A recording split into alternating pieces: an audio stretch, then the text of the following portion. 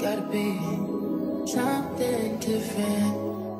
You must be made for me, patience. What's up y'all? If you want to learn how to remove darts from your skirt pattern, keep watching. If you don't already know how to draft your own skirt pattern, check out my how to draft a skirt pattern video that I have linked above.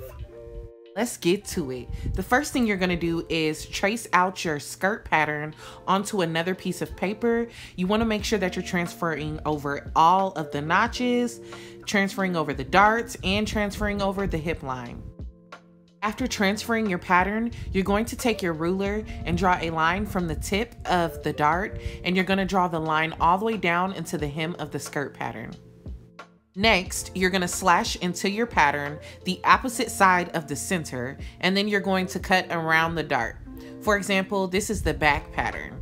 I'm cutting opposite of the center back. So you don't want to cut the center back off of the pattern. You want to do the side opposite from that. And you're not cutting straight through the dart, you're cutting around it.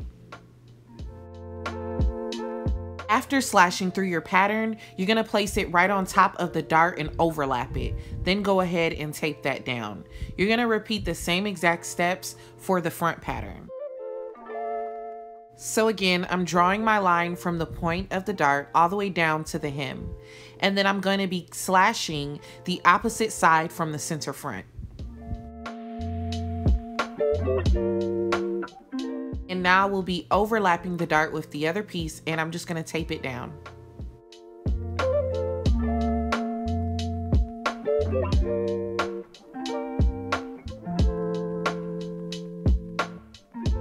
Now that you have both your front and your back piece, you're going to tape those pieces down to another piece of paper.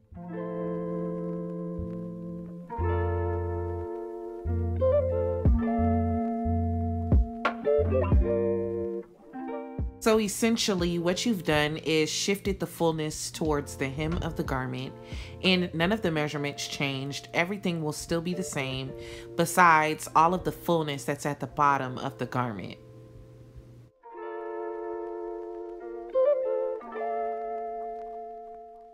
Just taking my Sharpie and I'm just filling in that gap at the bottom of the hem. And I'm gonna do that to the front pattern as well. And then I'm gonna cut my pattern out. When I transferred my pattern over initially, seam allowance was already included into my garment.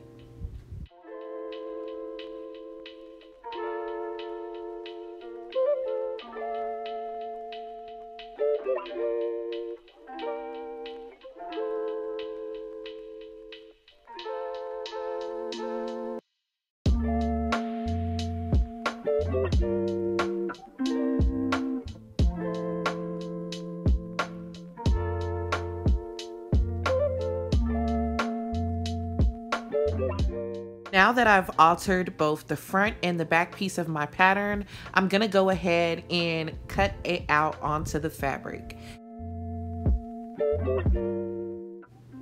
When it comes to cutting the pattern out onto the fabric, you're going to cut it out like you normally would. You're going to have two opposites for the back, and then you're going to have one piece for the front, and that's going to be cut on fold. So the cutting and everything else is still the same. And then um, you're just gonna take your pattern to your sewing table and you're going to sew it per usual. And after sewing it, you will see that you have an A-line skirt.